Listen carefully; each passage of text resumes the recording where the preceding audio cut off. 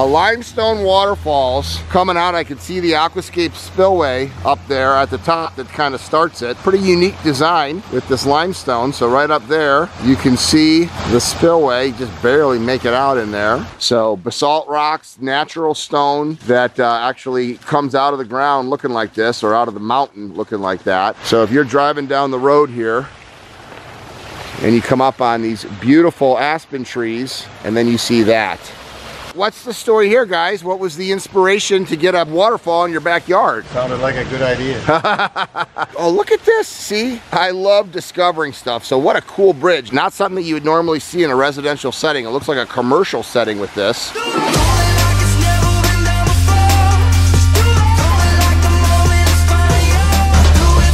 Welcome to living the aquascape lifestyle.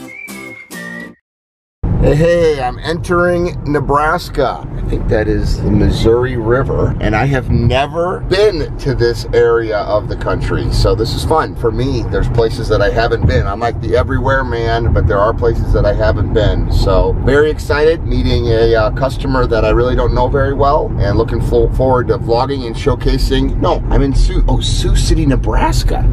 I thought it was Sioux City, Iowa. This is why you travel. You learn things, right? I'm Greg Wittstock, the Pond Guy. This is my channel, Greg Wittstock, the Pond Guy, and I get to showcase how people live the aquascape lifestyle all over the world, including Sioux City, Nebraska, that I thought was Sioux City, Iowa. Let's go check out some more beautiful aquascape water features. I love my job. Look at this beautiful house. And boys, we're actually in South Dakota. We are. This is my first time ever to South Dakota. I travel everywhere, but I was confused a little bit this morning because I was in Sioux City, Iowa, then South Sioux City, Nebraska. Now I figured it out. Okay, so we have Doyle, the founder and owner of the business, and his longest and oldest teammate, Marty. And did you work on this project, Marty? Yes. Okay. Oh, it's here and here. There's Oh, yeah. multiple ones. Okay. Oh, yeah.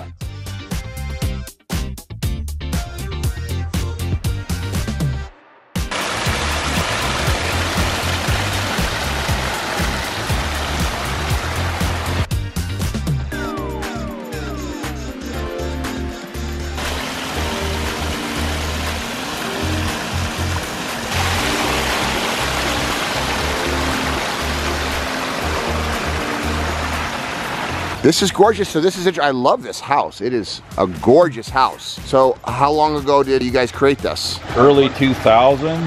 Yes. Wow, so it's been here for a while. Yeah. Built a, So you've got a waterfall is basically that the first thing they see when they're coming park their cars is this waterfall that greets them, huh? Was that the idea or this Definitely. about putting it in over Yep. here? it was that and something from the street before all this all grew in. You could really. see Oh yeah. You can have birch trees down here? These are aspen. Oh, these are aspen trees. These are aspen. Beautiful. Are we what, zone five? Yep. Okay, so we got a beautiful, fully grown in pondless water feature. Oh, I see how it continues to go down this way. Recirculating area down here with AquaBLOX. I could see the snorkel. Wow, is that gorgeous.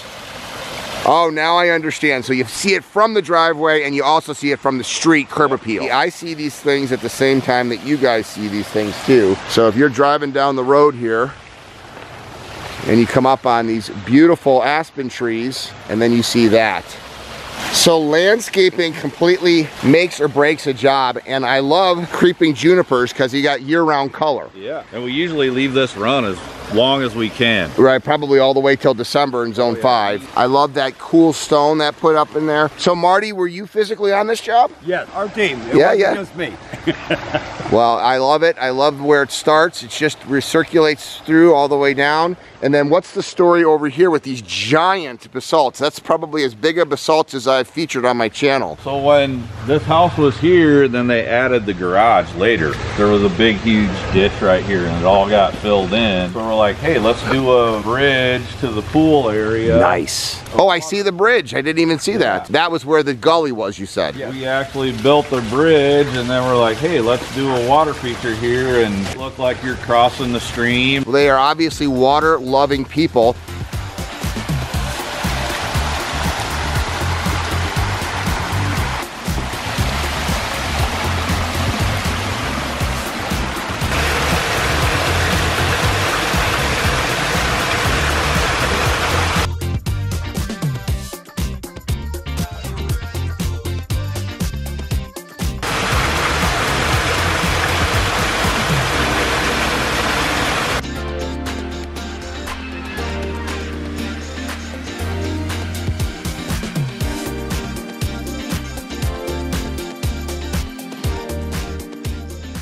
Quite, just keeps going on. You got a little pondless here as well, huh? Oh, look at this. See, I love discovering stuff. So what a cool bridge. Not something that you would normally see in a residential setting. It looks like a commercial setting with this. So is this like a guest house over here? Yes. Okay. And garage. So you just have a waterfall spillway over here, a waterfall spillway over there.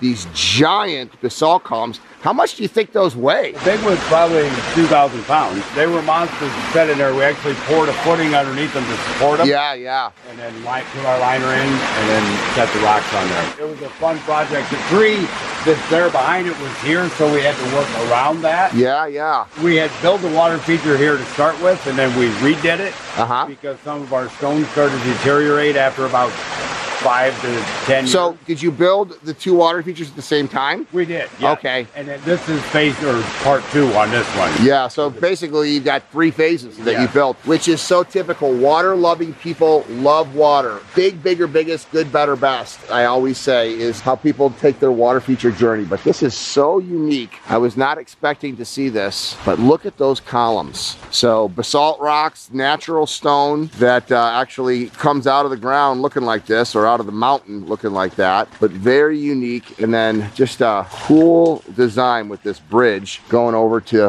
an awesome pool, great outdoor living area. These people must be big entertainers.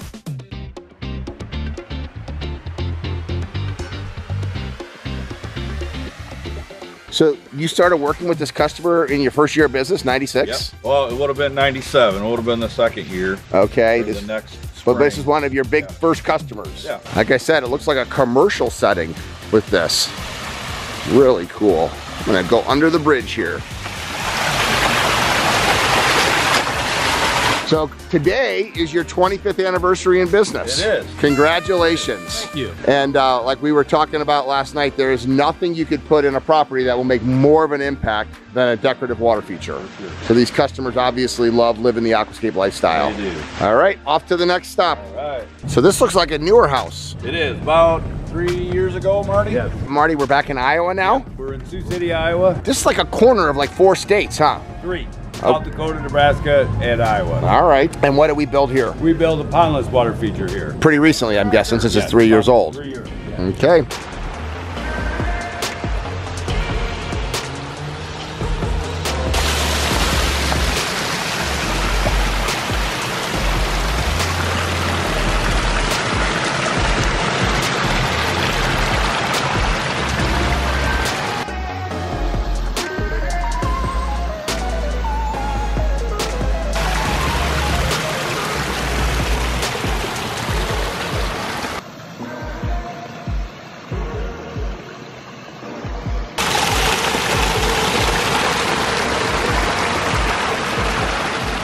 How you doing, sir? Good. I'm the pond guy, Greg. How you doing? You're a Hawkeye fan, huh? Absolutely. Okay. You're a Hawkeye fan too, aren't you? I'm a Husker fan. Ah, you He's should be. an Ohio State fan. You should be a Hawkeye fan. I think you were like what 12th now. They beat Wisconsin pretty handily, and Nebraska lost to Illinois. Yeah.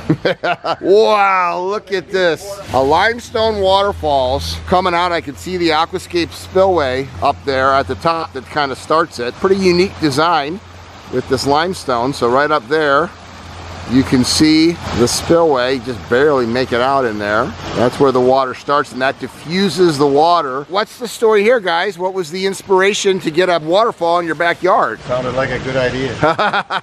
it was a mud hole before. Okay, and you had a slope facing the yard. And you- we wanted to put in a wall. And I think this guy had the idea, why don't you do a waterfall? And to be honest, they Yes. did a crummy one. And then this guy came back and redid it. what do you mean they did a crummy one? The first one that got built was not our ideal project. Let's Okay.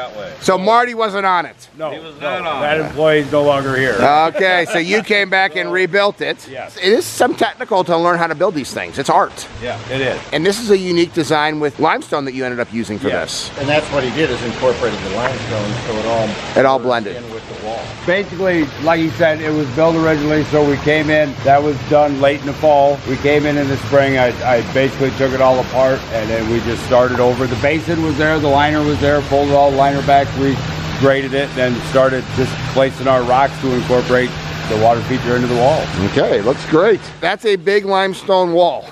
you got a lot of rocks there. Whenever a yard has a slope, it just screams, build me a waterfalls. And that sound coming to the house, you hear the neighborhood out here, but when you're standing down there next to that waterfalls, you don't hear the neighborhood behind it. If you have a slope and you're interested in having a waterfalls built, check out the link below to find a certified aquascape contractor in your area. And if you don't have a slope, we'll build you one. I love my job.